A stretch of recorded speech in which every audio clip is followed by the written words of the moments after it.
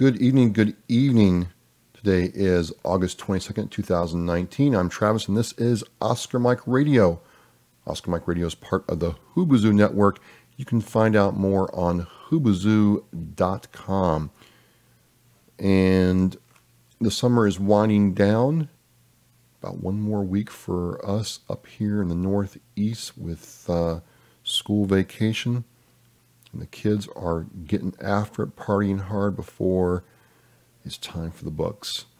Oscar Mike Radio supported by Joyce Asack of Asack Realty. Thank you. So again, um, trying this a little different as far as podcasting goes. In other words, you can still go to uh, SoundCloud, Castbox, Google Podcast, Stitcher, anywhere else, and you'll hear this podcast. But for those of you on YouTube and Facebook Live, this is yours truly uh, doing this um, live and happy to be here and talking with you all. And so as I get this dialed in, these might not be 30 minutes long. These may be 30 minutes long. Um, but I'm trying to dial in all this software and the experience and make sure that I actually know what I'm doing, which I think I do. I think I do. So this is more of a question slash story slash rant, and I'll start with the story part first. Well, last Sunday, I met a very good friend of mine in, uh, who's a Navy veteran. And if you're watching this right now, you know exactly who you are. We've known each other for uh, quite some time, done a lot of good stuff together. And he said, You know, I got to tell you something, Trav. About two months ago, I started ticking myself off all the 22 for 22, 22, this, 22, that, 22, 22, 22, social media and, and websites, email chains, phone calls, and Facebook groups. And I was really surprised. I, I'm not going to lie. I was really surprised because that, like a, for a lot of veterans, that is a very uh, near and dear subject to their hearts, right? It is, it is legit, it is for real, and they want to be involved. They don't want to see the things that we've all seen. You know, I've seen it, and these guys have seen it where they've had to explain to a family member why their loved one committed suicide. So it was very strange to hear him talk about this. And he said, It's not that I don't support anything to do with keeping veterans alive or from committing suicide. He's just like in, in his own self, right? In his own self, he felt like he was getting constant bad news, constant negativity, and he had no way to, to lift himself up, right? He had no way to ever make feel like he was making progress. So one of the things he wanted to do is make this about positivity. And for him, that meant kind of getting away from always having the number 22 in his mindset. And he went on to explain he'd get up in the morning and he'd see uh, notifications on Facebook from 22 groups. He'd be checking his Instagram feed on the train. There's other 22 for 22 um, notification. He'd be on, you know, other social media forums. And it was constantly some guy in trouble or some woman who, you know, needed help or just constant negativity. And I don't think he was doing this from a position of trying to think he was better than anybody else. I can understand where in his mind he had to make a change because he said it was bringing him down. He felt down. He felt defeated every day. He didn't like how he felt. He didn't he didn't like that feeling of helplessness. And he wanted to learn how to empower himself to help that veteran, but also he's like, look, man, we have got to start talking about the victories. So the question I'm asking myself and I'm asking you all, and you can weigh in on uh, my Facebook page or on this blog post for the podcast, hit me up on email, travis Instagram or Twitter. Is it possible, is it conceivable that you can have almost too much emphasis on 22? Is that possible? If it's not possible, then what's the answer? Because I asked him, I said, you know, there was a time in this country where no one cared at all. And it wasn't until enough people sounded the alarm that there was this attention brought to this issue and people started taking awareness and taking notes that, hey, there's a problem here. And I'm like, do you feel we've gone too much the other way? He's like, I'm not sure. I'm not sure. But what I do know is I, I, I need to hear some victories. I need to hear that the good guys have won. I need to see that person who has faced their demons, looked into the abyss, gave it the finger, and said, F you. I'm going to go out and do my own thing. I've got family and friends who love me, and I am not going to throw this away. And I don't see that enough. So again, I'm, I'm, I'm going to ask,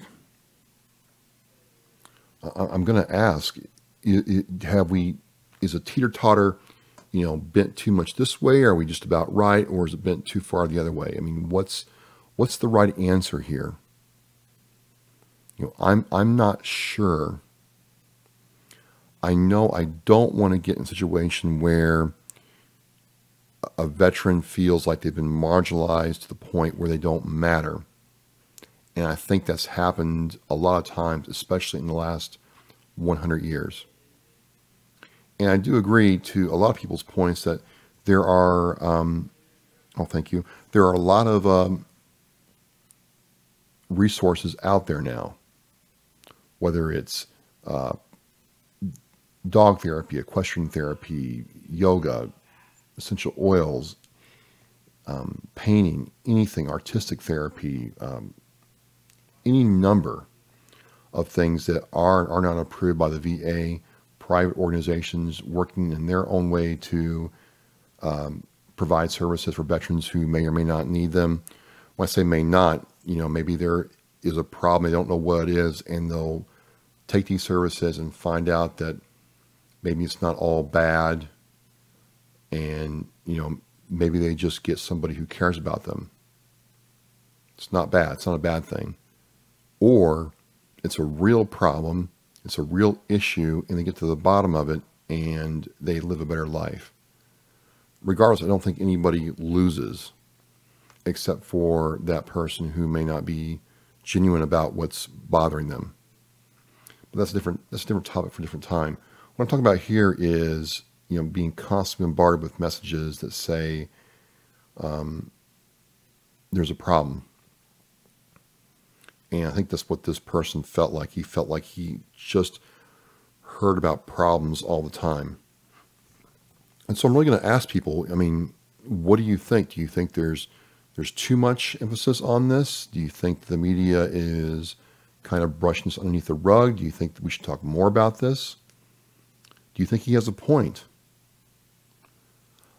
I'm inclined to agree with him to an extent that if you're constantly told something about yourself, that you're damaged, that you're broken, that you're this, that you're that, that you're crazy.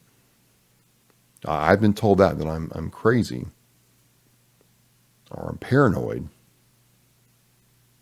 And then you find out that you're not crazy, not paranoid. It, it does something to you. But if you allow yourself to believe something long enough after being completely, you know, inundated with messages and, and media and focus, you know, why, why wouldn't you believe that? And I say that because in the, the blog post for this podcast, I'm going to have a website that links to this aspect of um, reporting and talking about veteran suicide and PTSD and PTS where there have been instances of copycat um, suicides. And I'm going to talk about that in a different podcast because I, I can't, I didn't want to try to unpack it here. I'm just trying to get people to ask themselves a question and maybe look at some answers, right? But certainly in other parts of our, our country and some of the things that we're going through right now, there's certainly um, some carryover, I think, where people see something on the news and they go out and do it because that person's doing it. In, the, one of the oldest expressions since I was a kid, monkey see, monkey do. But at the end of the day, I, I just um, I just wanted to understand: is this too much? Is the number twenty-two too much? Are we focusing on negative too much? Are we focusing on death and destruction too much? There are several people that will tell you that there are plenty of resources for veterans who need help.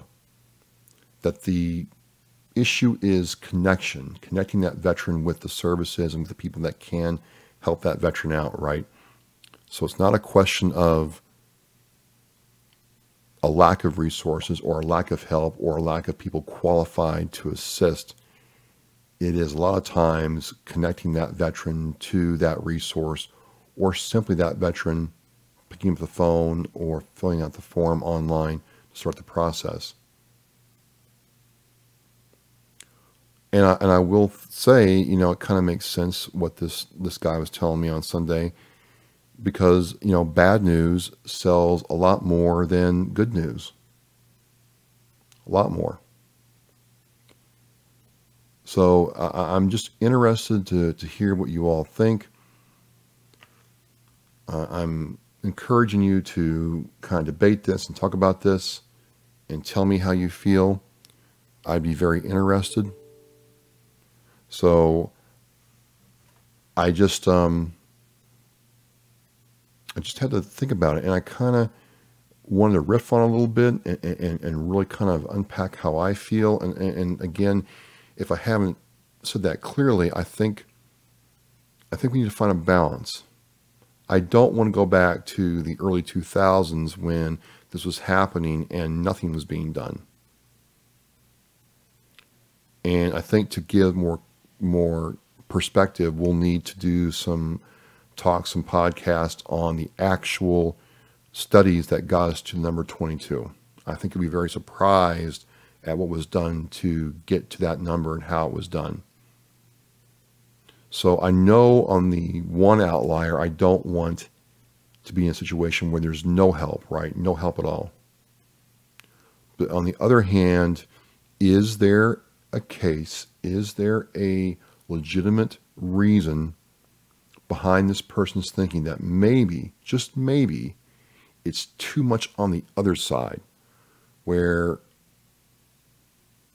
it's so much bad news that, that it feels hopeless to get out of it. And if, if that is a, if enough people have that feeling and feel the same way, well, then how do we get back to this balance, right? How do we get the equilibrium where we accentuate the positive and what's being good around this in a way that doesn't glorify the negative. And that's kind of what I want us to talk about and discuss. I, I want us to come together as veterans and as the families who have gone through this themselves and see what they think. I'd kind of like to know. I'd kind of like to know. And again, I just want to say I really appreciate when I go live like this, all the people that come in and participate and, and join in. If you if you like this and you, and you like the conversation, please um, you know like the like the social media instances, share it all around, and and interact with me. Interact with each other. This is a place where we as veterans can talk about stuff like this this veteran felt comfortable coming to me and, and talking to me about this. I didn't judge him. and, and, and, nor would I anybody, especially if anybody disagreed with what he said. You know, Oscar Mike Radio is that place where you, as a military person, male or female, service member, former, current, can, you know, tell me how you feel, tell me what you're thinking about, and we're going to try to make something good out of it. So thanks for uh, rapping with me on the live session. I always love doing this. I'm getting uh, more comfortable in front of the camera, kind of, and just trying to do uh, different stuff. So let me know how you feel. I, I do think, though, we need to kind of start telling some some victories, and I'll see. That, excuse me. I'll see what you think about that.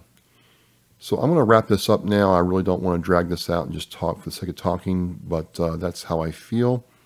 I felt it was a very interesting subject, and I think what's next is really some, some a podcast series about how the number 22 came into existence and where it is now. I'm Travis. This is Oscar Mike Radio. Uh, Lock through launch. We are on the move.